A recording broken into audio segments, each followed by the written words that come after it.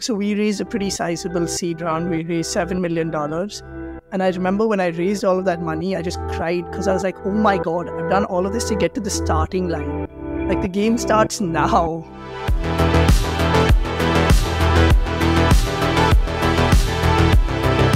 Welcome to the Lubo Smid podcast. I'm your host, Lubo, co founder and CEO of STRV. Here to talk to the industry leaders from the tech and startup space and ask them about their tips and tricks they use to operate at the top of the game. Today, I'm happy to welcome Varun Puri, co founder of Yoodli, an AI powered judgment free speech coach that could be described as Grammarly for public speaking. Two out of three people are afraid of public speaking, and that's why Varun is so passionate about his mission to help us all improve our public speaking skills and become better communicators. So let's dive right into the discussion. Varun, I wanted to ask you right away uh, what do you think about the current state of things in the world of AI? I'm so excited. It feels like a Netflix drama that I'm a small pawn in, and it's a seven dimensional chess game. I'm watching it from the side, slightly terrified if Microsoft or OpenAI, with one, you know, flick of a mosquito, might swallow tens of thousands of startups. But it's very exciting. If there's ever a time to be in AI, it's right now. It's like, uh, you know, some people describe it as Game of Thrones, others like the Kardashians for geeks. Uh, it's crazy what's happening, but uh, you know, I feel like there should be a documentary in the retrospective or even a book because that's uh, that's insane what's happening out there. Also, to all of our listeners, we are talking the the day after the whole Sol- Sam Altman OpenAI saga happened. So we're waiting to see if he's going to get reinstated at OpenAI or he'll go to Microsoft. Lubo, no question. There are going to be many books and many movies on this. I mean, if you combine all of the Twitter stuff, that's already 10 books. Yeah, I, I have no doubts. And in the end, these are the books and uh, docu series that I really crave for. Like, uh, the the one about Uber, I think it's called Super Pumped, uh, or the one about WeWork. Uh, just seeing what has happened there, and I know it's not always based on true hundred percent, but uh, it's it's crazy what's happening out there, and you are very close to it as uh, someone who is building in AI.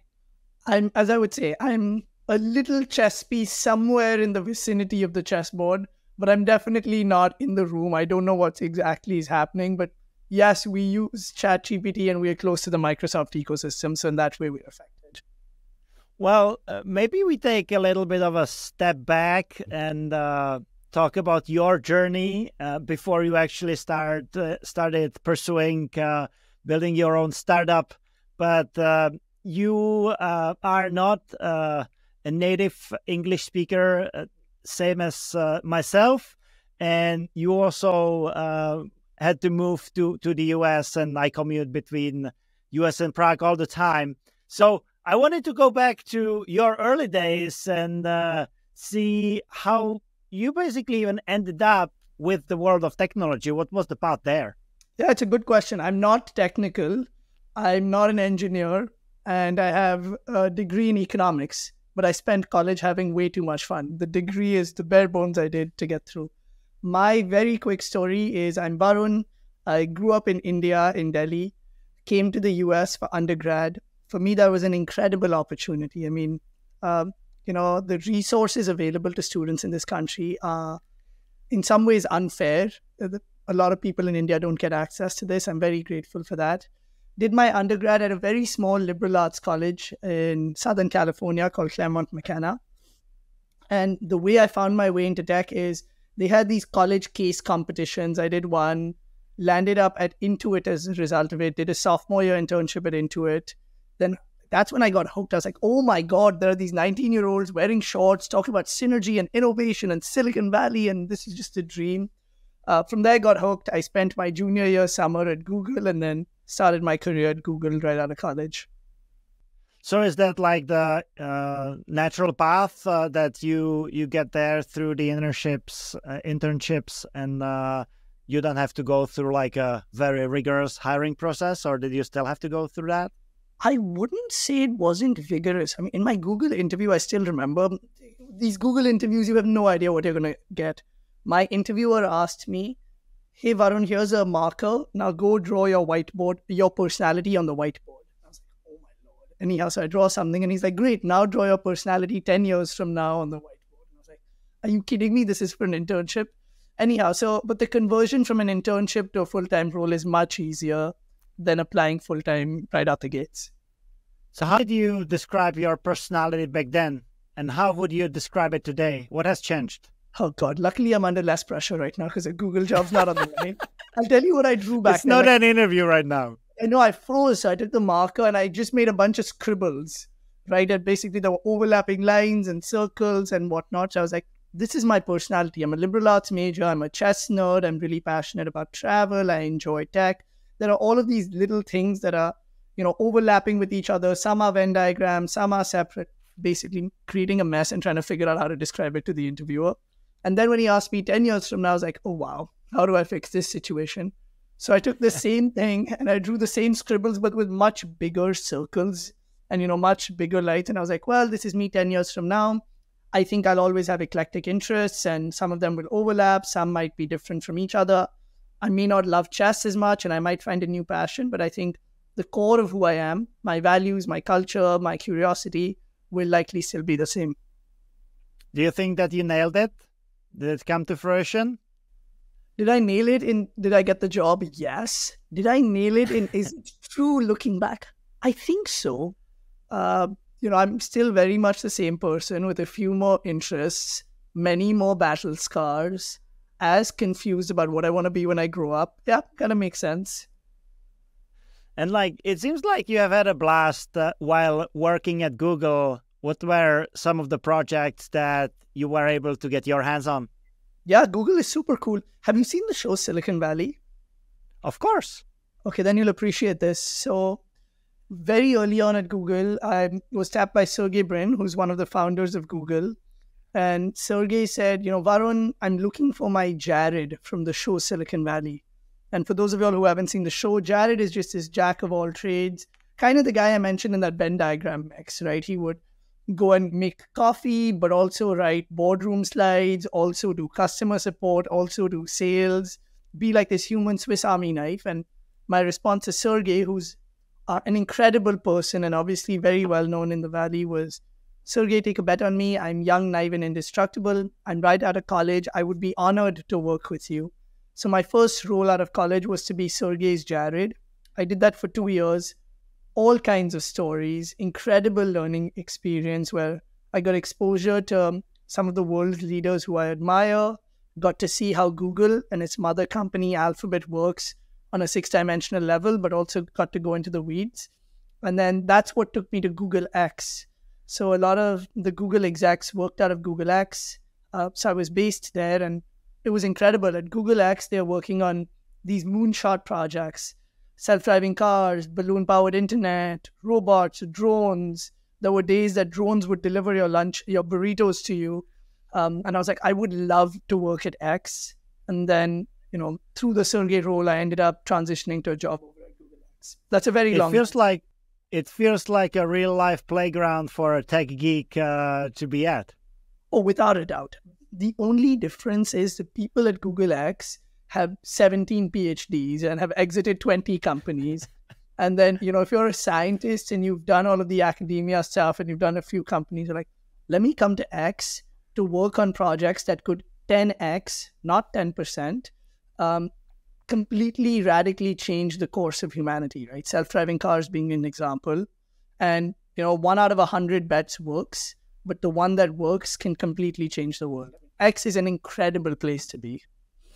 How how do you get to be Gerard for Sergey Brin? Like it seems like it was a very happy path uh, for yourself, just doing the internship internships and uh, getting there right away. Uh, I assume it has not been that smooth? I mean, there are two questions. One, what's not been smooth? And the second is, how do you end up doing the Jared role? I don't know, to be honest. So when I joined Google full time, I joined in their early grad rotational program. It's called the APMM program. Any marketer goes through it. It's a two year fun gig where you switch through a bunch of roles. I know Sergey was looking for someone and I got tapped. I still don't have a good answer for you. And it was an interesting role where I got a lot of exposure, but it was also really hard, right? Working with folks who I read about in the news or not exactly knowing what my job will be on a day to day basis because there's no ladder, there's no team. Um, it's very visible. And I'm right out of college and I'm not even sure what I should be focusing on. And I have zero skills whatsoever. So it was hard. But that's essentially how the rule happened. It was meant to be a one month experiment. And then the one month experiment kept going on and on. How long did it last for? Ended up being two years. Yeah. And like, if you would uh, have to describe some of the things that you picked up from the collaboration with Sergey, what would it be? The honest answer is that everyone's a human, everyone's going through the same stuff. I think when I was in that role, I would meet a lot of these people who I would just read about and be starstruck by. And then when I talk to them, I'd be like, oh, like you have a cold? Like, you know, how's your nose doing? Or, you know, how's the food? Was it tasty? And I think just treating everyone as a human being um, really brings it back to first principles. The kinds of things I loved in that role is, you know, I saw all of these people who treated me, the little guy, really well and with a lot of respect. And I was like, that's awesome. If I ever get into a position where know, I'm running a really big company, it what really matters is how do I make the little guy feel? Am I a good person? You know, I'm sure there'll be ups and downs, but seeing the way character works at especially those high levels at Google was really inspiring for me. And I assume that, like, you know, seeing that even the people really high up go the same personal struggles and professional struggles that you go through uh, definitely makes you feel okay, more human. Everyone is more or less on the same level. I mean, totally. Look, uh, uh, fast forward to now, right? I'm a tiny startup founder. I'm trying to make this dream a reality. And I keep speaking to a lot of mentors, folks who I met through that job. And I keep telling them, oh, you know, I've got this problem and revenue didn't work. And this is what's happening with my team. And oh my God, a customer flicked. And they're like, oh, Varun, that's great. I'm dealing with the exact same problem. I just have a few more years of experience, and the magnitude of my problem has a few more zeros behind it. But it's exactly the same. And I was like, oh, that's interesting perspective. Right? That's the perception because in the end, like you keep doing the same things. It's just that the scale might be different. Again, Lubo, what do I know? I'm still figuring this out. Uh, no, I think you don't. You don't want to be uh, underselling yourself. Uh, I think that uh, there is a whole lot of achievements that you have done already. Thank you. Um, well, I would love to hear what was happening in your head. You know, it seems like a dream come true. Uh, being born in India, landing a job after college at Google, working for Sergey Brin uh, directly, or having an opportunity to work on some of the most innovative projects out there. What was going on in your head when you realized, oh, I want to pursue something on my own? It's interesting. When I was in the Sergey role, a lot of what I was doing was report building. Right? I would tell Sergey, hey, here's a brief of what happened last week or with a certain company. And then he would take the decision for obvious reasons. And one of my conversations with him was, I would really love to be a builder myself. So at that point, there was a guy at Google X, Mahesh, who's one of my closest mentors, I admire him, who was coming up with an idea to bring internet to rural India using invisible lasers. The concept is in space, the way the International uh, Space Station talks to satellites is using light as a means for propagation. In fact, the way a lot of us get internet to our houses is light traveling through fiber cables. Now, the economics of digging fiber doesn't make sense in war torn areas, in remote areas, etc. So Mahesh's idea was, what if we take these lasers from space and just use it to beam internet from one point to another? And I was like, that sounds amazing. If I can be based out of Google X, work on this incredible project, go home and see my family many times a year, it's just a dream.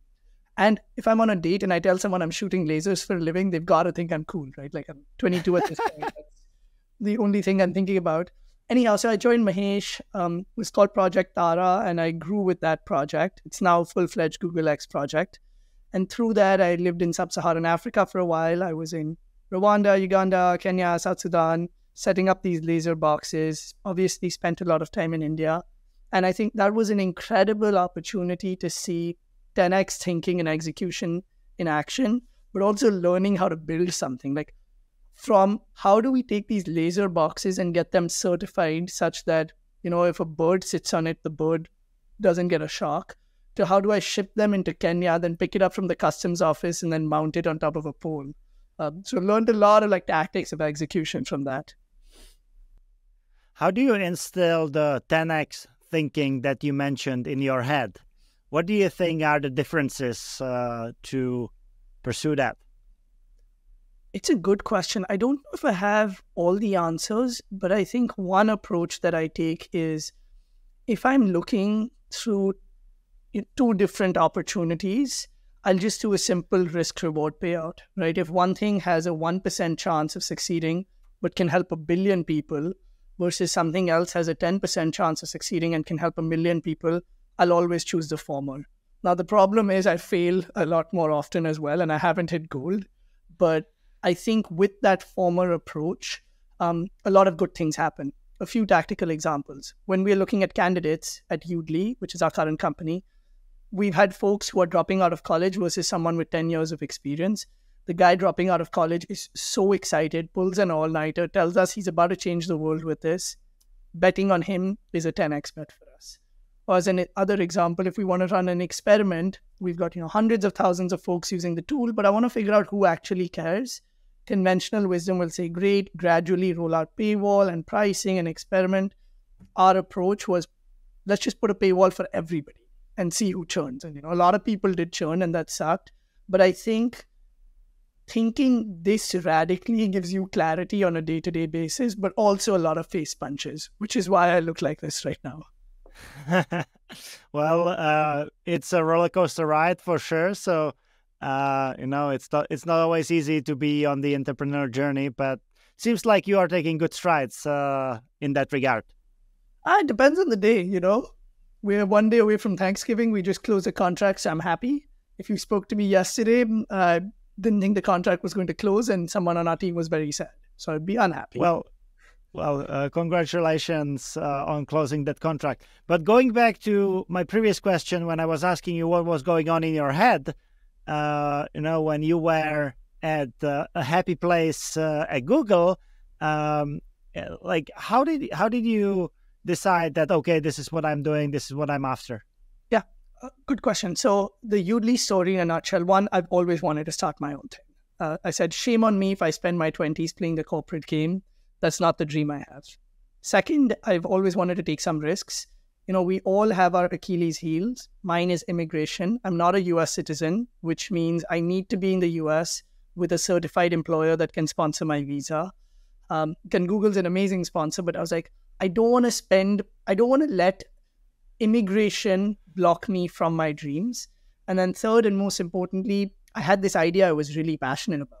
Um, and I can get into the genesis of Yoodli at length in maybe the next question, but I was like, this problem needs to be solved. Like, if I don't solve it, someone's going to solve it. Like, let me go and spend, you know, the rest, howsoever many years, trying to give it a real shot. And then in the 10x approach, my thinking was, well, either I can de-risk it and say, well, if I have a good idea and if I have a team and you know, if I figure out immigration, only then will I go, or I just quit. And then I said I'll figure it out from there. And I'm still figuring well, it out. Well, let's go straight in. Why do we need Grammarly for speech? Done. Uh, idea behind Yoodli is simple. Too many smart people struggle to speak with confidence. Right? I'm talking about the kid in India who deserves the Sergey job way more than me. I'm talking about the immigrant, the introvert, the non native English speaker who doesn't get a promotion because they don't speak with confidence on stage. Um, talking about the women who get interrupted in corporate America.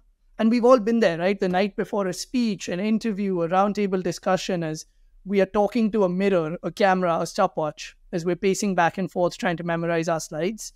There's got to be a better way. And that's the idea behind Yoodli.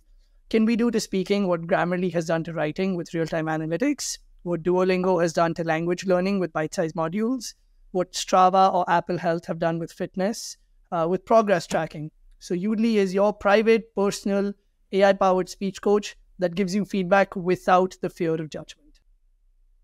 Does it come uh, as a result from your personal struggles, or you feel like you were lucky in that regard, but uh, you still feel like uh, there's a lot of other people and you named them or you named the categories where you know you would like to be helping with the product. But i wanted to ask if uh, there was uh, a strong personal struggle that uh, made you to feel extremely passionate about the cause?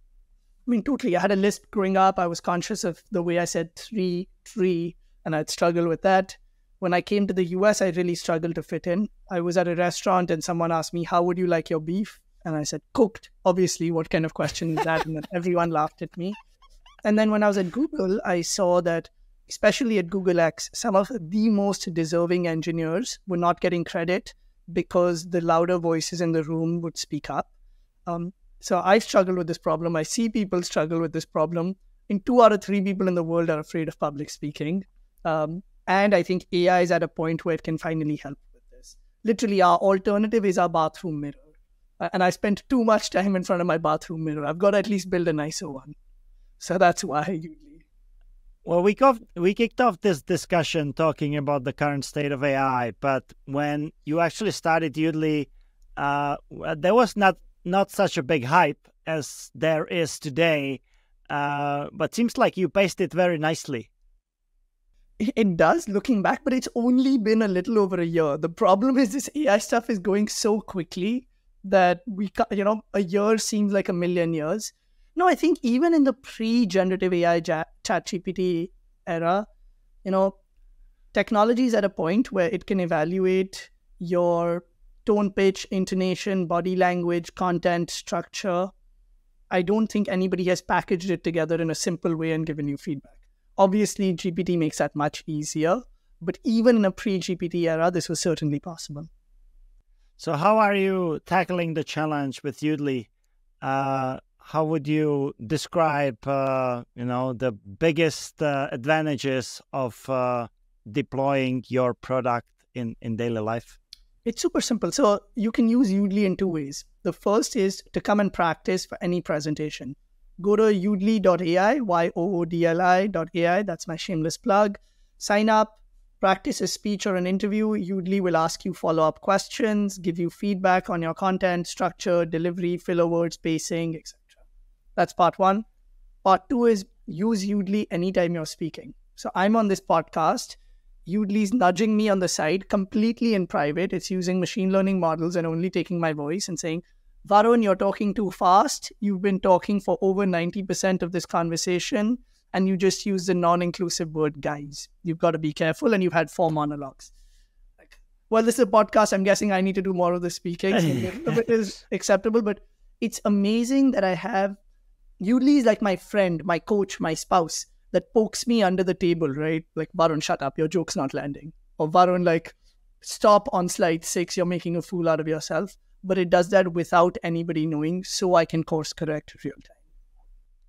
How difficult is it to build such a product these days with what's available from OpenAI, with GPT, etc.? Because you mentioned that uh, you rely on them as well. But I assume that there must be a lot of proprietary stuff that you put in to make it all work uh, seamlessly and provide an added value. I mean, without a doubt, right? Building a prototype is really easy. That's one of the things I've realized. A prototype is not a product. And we learned this the hard way. So, the kinds of things that we do in house, um, Yoodli is your personalized speech coach. So, it learns from your behavior, your goals, um, and helps you be the best speaker you can be. So, it's perpetually learning. That's part one. Second is Yoodli is by your side anytime you're speaking, which means it analyzes only your voice and ignores everyone else's voice that's really hard to do. And the third piece of it is taking all of these disparate things. So, for folks who understand the AI world, we're taking natural language processing, computer vision, speech recognition, and combining it into a single user interface. That is wicked, wicked hard to do. And I would not say we've solved it we're experimenting with it every day.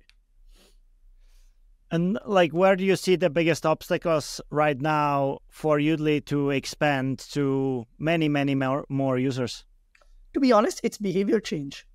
People hate practicing. People hate watching themselves back on camera, right? You'll say, Oh my God, I sound like this. I have a pimple. I haven't shaved. Oh my, like everything is bad. What that means is we are creating a new category. Nobody is going out today and searching for an AI speech coach. We need to get people to be aware of the problem normalize this behavior and then get them to enjoy it. So our biggest challenge is category creation and behavior change. I feel like the behavior change is something that does not happen overnight, and sometimes it even takes generations. I am like really, really looking forward because, like, we have uh, uh, mobile phones pretty much glued to our hands these days.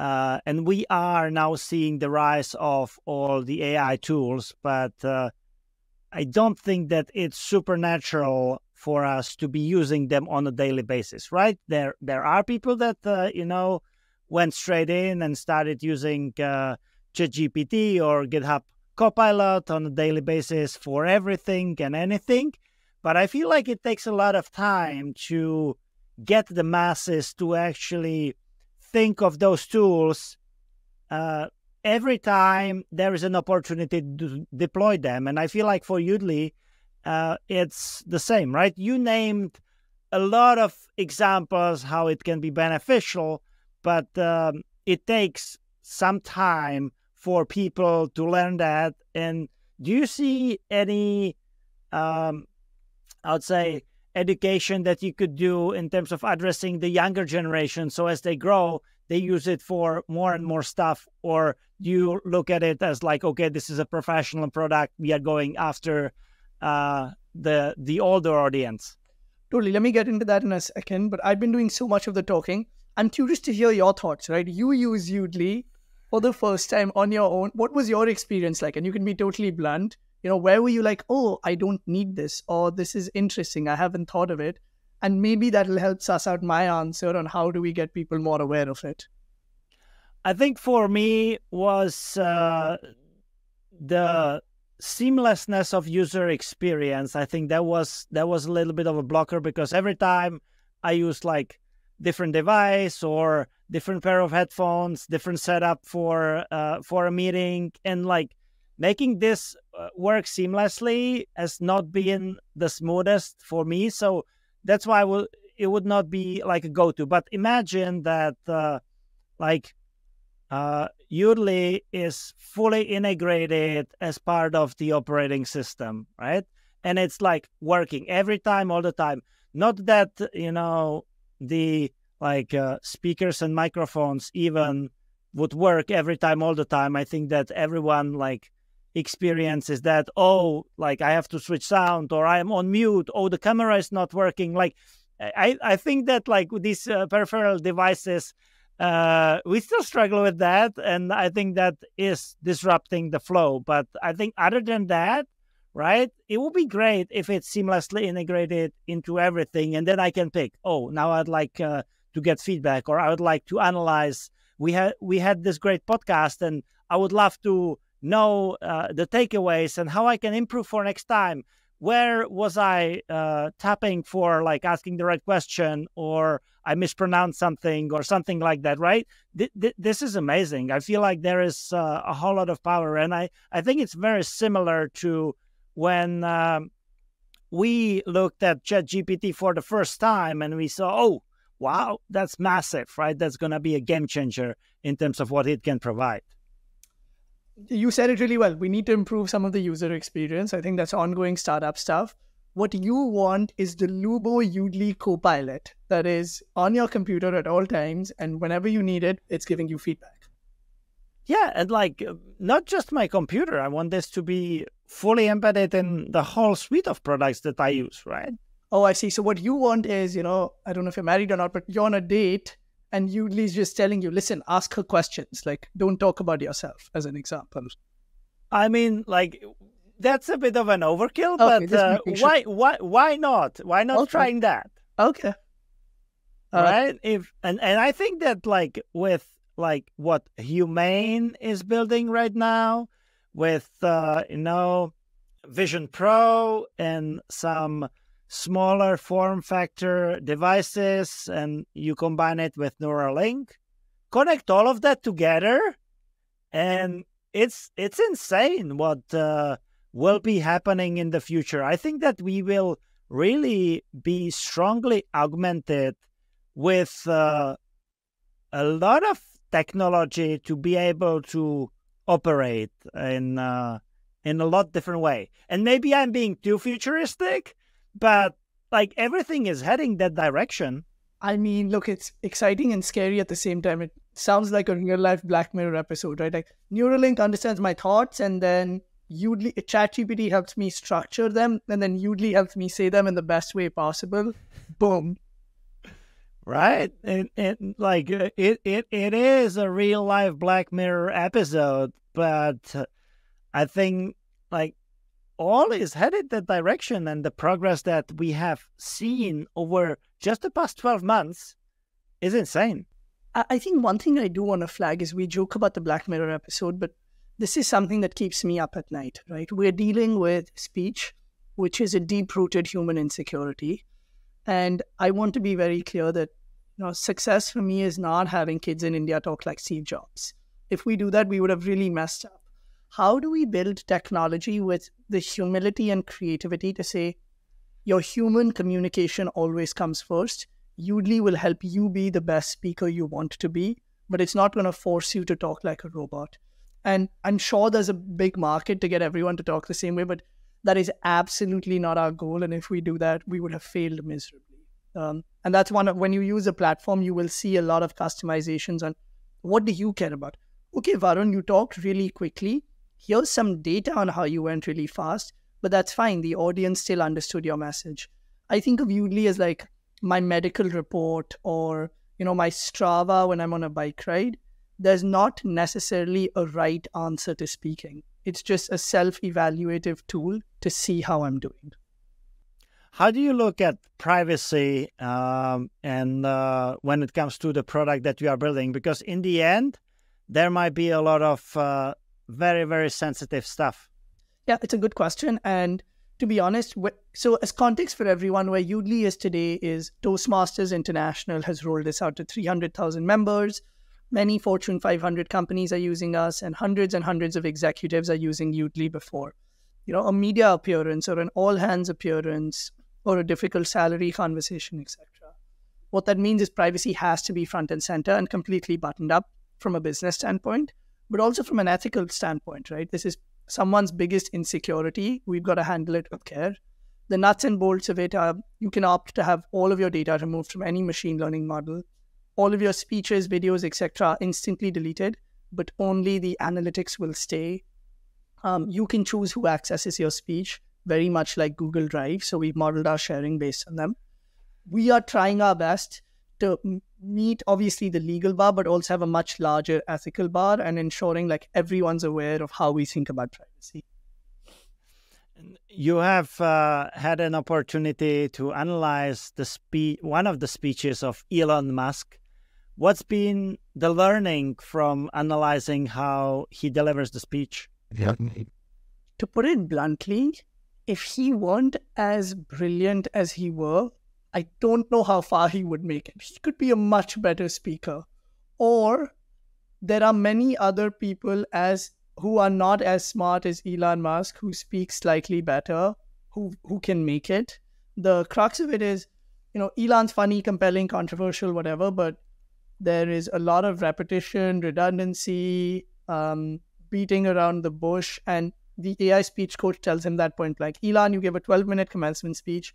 Here's how you could have said that in three minutes with the same kind of impact. In fact, I think like Forbes or Fortune wrote an article about it. They took Elon's speech, ran it through Yoodli, and now a lot of media outlets do that, right? When Joe Biden has a State of the Union or some Hollywood celebrity wins an Oscar, they just analyze the speech through Yoodli. So, how do you actually get to a point that uh, you build something so valuable that it can provide you these uh, great pieces of feedback right? What what are all the things that you need to plug in together?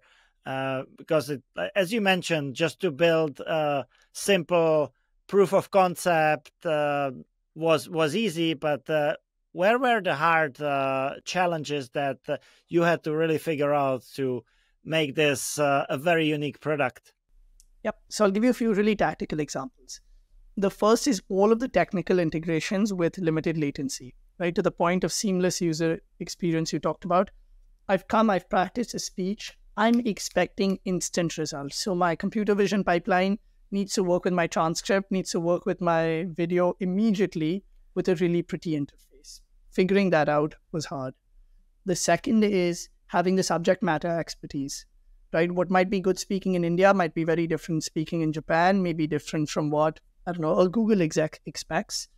As a result of which, we've been working with tens of thousands of speech coaches around the world. Think of this as like a debate instructor, a freelance coach, somebody who trains you know employees at meta on how to speak better and they've helped us build the system that provides the best possible feedback but the coach can can still customize it and i say that because yoodli is not competing against human coaches a really good analogy is if the human coach is the accountant yoodli is turbotax right we'll help them scale their business and go much faster the partnership with speech coaches gives us a lot of ability to scale that's number two. Um, number three is figuring out like how do we think through language integrations and deeper level feedback. Right now, a lot of the feedback we give you is here are the key points your audience took away. Here's where you could have been better. But the real essence of speaking is Varun, here's where you just sounded like a douchebag and the listener lost attention. And giving that kind of feedback is really, really hard. Um, but I think you know if there are three levels of feedback, level one is like filler words, pace, etc. Level two is content. Level three is the true emotion, and going from level two to level three is very very hard. So we're trying to figure yeah. out that technical challenge. And you have mentioned an insane number of speech coaches that uh, you have had help uh, basically you build a great product. How do you gather the feedback from them and how do you organize such a large crowd of people? Yeah, it's a good question. It's our earliest adopters were speech coaches. So we positioned ourselves as a speech coach's assistant just so that we would grow as they would grow. Um, anytime a coach interacts with Yoodli, Yoodli understands you know their preferences and then gives them a tailored experience accordingly. So the AI coach might say something, and then if the human coach says no, ignore this, Yoodli will then learn and the system will get better. Got it. And so there is a way to also provide feedback, or it was just for the speech coaches that they were able to do that? Or like a general user can say, I respect that piece of feedback, but I actually would like my speech to be uh, like that. Yep. So yes to all. So a user can engage with the AI and say, yes, I like this. No, I don't. Uh, but the second piece of it is, look, you come to Yoodli, you practice with AI, you get AI powered feedback. But again, as I've said, the human connection is really important. At the click of a button, you can share that Yoodli with all of your analytics with a friend, a coach, a colleague, and then they can leave you timestamped feedback. So it makes the process of collaborating much easier. As an example, you know, if I have a presentation tomorrow, typically I'd get five people in a room to record me and then they'd all give me feedback and we'd all lose one hour. Now we can do this asynchronously. So a lot of career services centers, for instance, at universities are using Yoodli, right? if I'm the head of career services at Harvard Business School, typically I would have hundreds of students come in and we'd keep practicing. Why do you want a job at McKinsey? Tell me about yourself. And we'll do the same thing over and over again. Now students can practice with AI, send me their mock interview, and I can asynchronously critique them and save a lot more time. What have been some of the success stories how uh, people used uh, Yoodli that uh, got stuck in your head? Yeah. Um, I mean, there are lots of things about startup life that suck. The most exciting thing is every day now when I wake up, I have lots of emails from folks saying, listen, thank you. I landed my dream job or this changed my life. I'll give you two stories that really spoke to me. The first was there was a guy in India who had been using our system like 50 times a day. And he was just triggering all of our dashboard alarms. I was like, I've got to speak to this guy. What is he doing? Is he you know, streaming Lord of the Rings on Yoodli and like violating our fair use policies. So I got on a call with him, and he said he had a stroke in his early 20s and has been working to get his speech back. And every day he's been coming to Yoodli and, you know, practicing how to speak. And he's like, if Yoodli understands how I'm doing, another human will. And this is all in private. And I was like, that just makes it so worth it. Um, another story was, again, in India. I mean, as you know, I'm most passionate about building this for folks in India. There's a guy in rural India who was using the tool again every day. So I was like, I got to get on a call. Who's this guy? And he was practicing his English learning skills on Yoodli. So every day, because you know, Yoodli simulates a conversation with you. Uh, he would use Yoodli to improve his English, and then he got his entire village to start using Yoodli with him. You know, even with poor internet, and they were using it on a mobile phone, and the tool wasn't perfect at this point. And now they are some of our biggest users. Well, do you see that as an opportunity to expand more into also like language learning, or you you would like to stick with like the the niche that that you have for now? I, I think we definitely have an element of language learning, but Yoodli at its core is a speech coaching tool. However, a lot of our users tend to be, you know, as I was saying, Eastern European, Indian, South American, non-native English speakers, where we know how to speak English, but we might think in our native language first and then translate it and respond. Uh, so oh, our oh, yeah. challenge isn't learning English; it's saying the right thing at the right time and being funny or charming or whatever. And previously, you mentioned that uh, you know things are not always uh, nice and easy uh, when you are living a startup life and building uh, your own product. What's been uh, the toughest moment for you so far that uh, you had to go through? So we don't just talk about the nice stuff. I mean, you've got to ask me this on a day to day basis. A number of times I go home in the evening just in tears, saying, What am I doing? I had this good thing at Google. Um, you know, every day we take two steps forward, like several steps backwards. I'll give you examples. One, we were completely invested in Silicon Valley Bank. When that collapse happened, we almost missed pay- payroll. Second, fundraising. I mean, it's an exhausting, cruel process where you keep taking no's over and over again in the same day, and then you have to smile and go through a pitch yet again. We've had our site completely conk off and us not knowing why, and then us spending the entire night trying to fix it. Um, every day is a new challenge. You know, an a dream employee who I've been trying to chase for three months has signed and is starting tomorrow and the day before signing, they renege because their previous company suddenly gave them a new offer. When I was at Google, these things didn't sting as much because everything was so easy. But every day comes with some kind of really big face punch. Um, and I think the important part is celebrating the mini wins, no matter how small. Otherwise, like you are going to go nuts. And I think I'm borderline nuts right now. you you have to be ready to take all of these face punches, otherwise you are not uh, fit uh, for being on the journey. I think also you've gotta again. What do I know? I've been doing this for thirty seconds, and I'm definitely beaten up. but you've also got to understand that this is just such a long game. You know, when so we raised a pretty sizable seed round. We raised seven million dollars. And I remember when I raised all of that money, I just cried because I was like, oh my God, I've done all of this to get to the starting line. Like the game starts now. And then, you know, we built this product, we got really large user base, and then we introduced a paywall. And I was like, oh my God, the game starts. That's the starting line. And it's just the starting line keeps moving over and over and over again.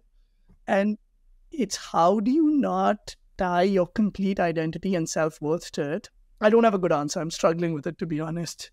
But I have friends and a co founder who's super supportive, and we're figuring it out. And it seems like it has not been the smoothest, uh, even to raise uh, the money for you. How many uh, pitches did you have to go through? Yeah, it sucked. I mean, God, 50, 60, I don't even remember at this point. But he, here's what's really hard about fundraising. One, oftentimes you're speaking to the biggest big shot investor. So someone who's like the first investor in Uber or Airbnb will be like, no, you're an idiot.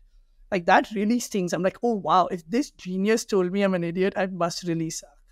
Or alternatively, you don't get a meeting with the biggest big shot, you get a meeting with the most junior employee. So I'm talking to some venture fund where there's like a 21 year old who's grilling me on questions that they definitely have no answer to themselves.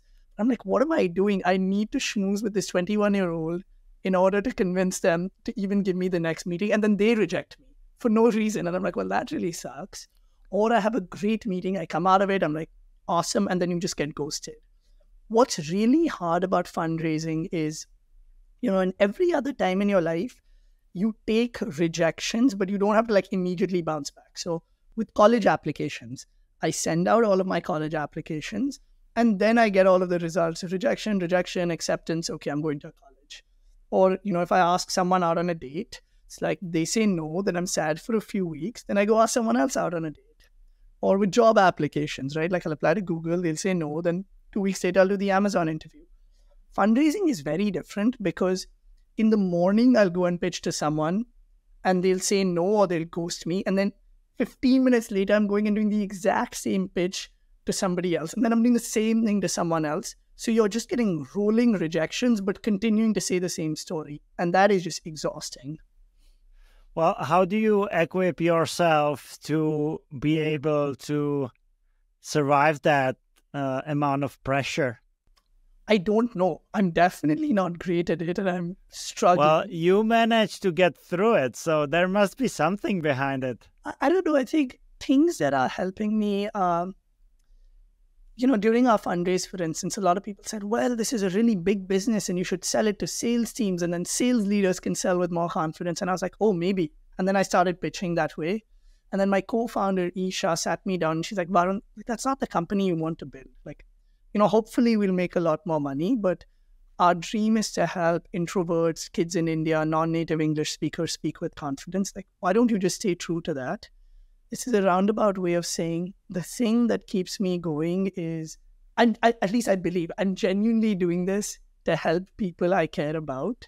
And that's what gets me most excited. So every time, you know, we have a few face punches, talking to that user in India who had a stroke or the person in that village really gets me going. Um, I think it's just that, like, I don't know how people work on construction software, backend service. It's a massive industry, it's needed, but like, I just wouldn't be able to wake up in the morning despite the 50th face punch. I think uh, you have to always find uh, the purpose for what you are doing, right? Because in the end, that uh, is something that fulfills you uh, hopefully no matter what's happening uh, on the outside. Are there TBD, my friend, TBD. are there any other things that are part of your routine? How you keep uh, your mind and body in check?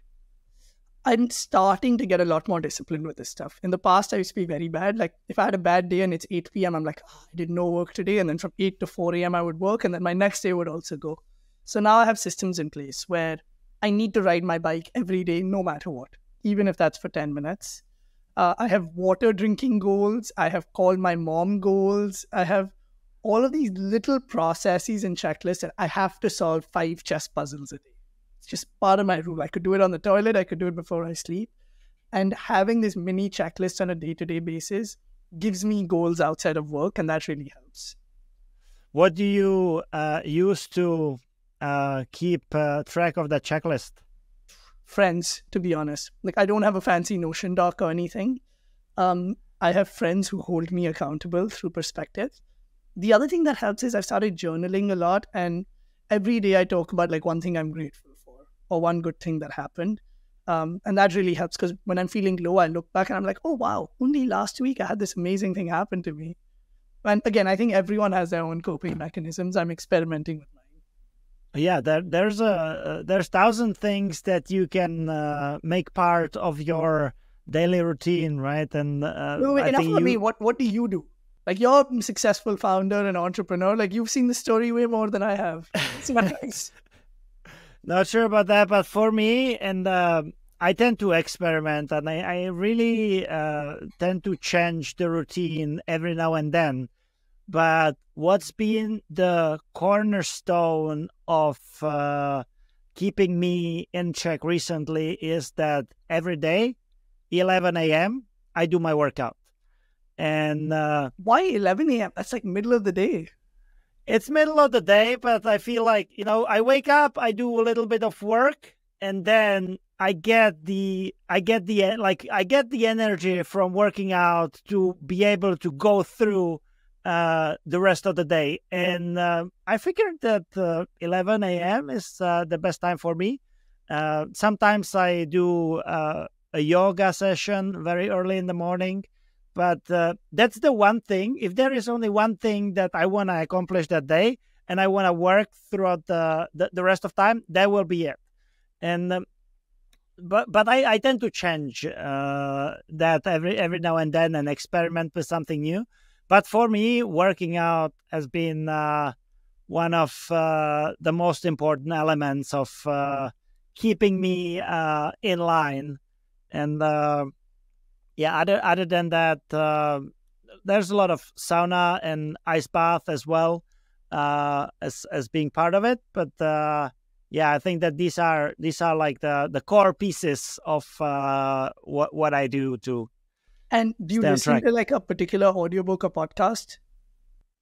I I listen to many. Uh, there is of course like uh, I listen to Lex Fridman, Joe Rogan, um, uh, and like it really depends on the guest. Uh, uh, every now and then there is a there is a good book uh, that that I listen to. Most recently, it's uh, Be Useful from Arnold. Uh, big fan of his. Uh, and like, uh, I'm not sure if you know, but we had a chance to collaborate together. So it was pretty exciting. Oh, really? That's oh, cool. Oh, yeah. Oh, yeah. That was, that was a lot of fun. I will. I have many so, more questions, but obviously you want to be mindful of podcast time. I'll bug you about that offline.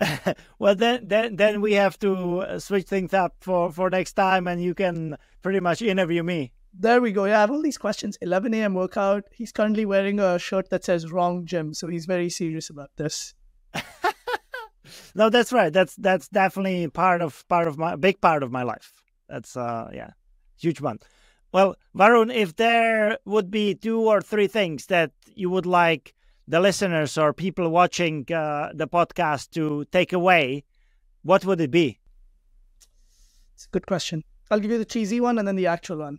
I think one of the things Let's I'm go. trying to do at Yoodli is look, I don't know if Yoodli will be successful or not. I, am just trying to have a good time through it. And I'm in my head far too often. No matter what you're doing, like try and have a good time. But most importantly, go to Yoodli and sign up. That's the important thing. not messing with you.